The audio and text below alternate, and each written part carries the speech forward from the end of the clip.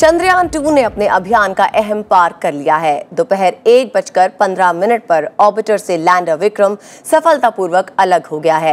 अब तय कार्यक्रम के मुताबिक लैंडर 7 सितंबर को चंद्रमा की सतह पर लैंड करेगा, जिसके बाद रोवर प्रज्ञान चंद्रमा की सतह का अध्ययन शुरू करेगा।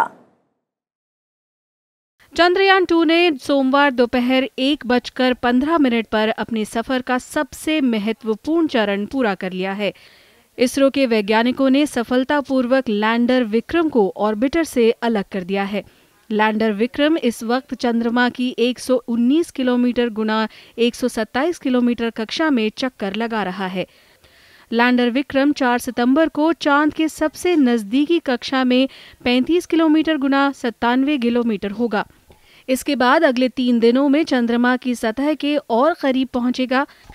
सात सितंबर को तड़के डेढ़ बजे से ढाई बजे के बीच चंद्रमा के दक्षिणी ध्रुव पर यह सुरक्षित तरीके से धीरे धीरे उतरेगा। इसके दो घंटे बाद लैंडर के अंदर रखा रोवर प्रज्ञान बाहर आएगा। रोवर छह पहियों वाला रोबोट वाहन है, जिसका वज़न 27 किलोग्राम है। ये सौर ऊर्जा से चलेगा और 500 मीटर की यात्रा करेगा। इस दौरान वो चंद्रमा की मिट्टी में उपस्थित खनिज और उसकी रासायनिक संरचना का अध्ययन करेगा। साथ ही चंद्रमा के दक्षिणी ध्रुव में पानी, बर्फ़ की खोज, वातावरण की जाँच करेगा।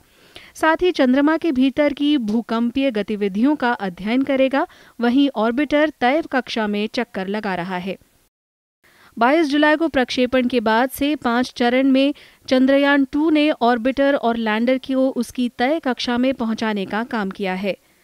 ऑर्बिटर पहले से ही चंद्रमा की कक्षा में स्थापित हो गया है। ऑर्बिटर तय योजना के अनुसार एक साल तक कक्षा में रहेगा और चंद्रमा के वातावरण के बारे में जानकारी देगा।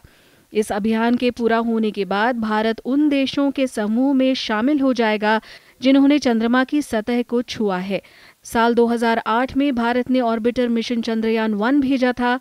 यान ने करीब 10 महीने चाँद की परिक्रमा करते हुए प्रयोगों को पूरा किया था। Bureau report Rajya Sabha TV.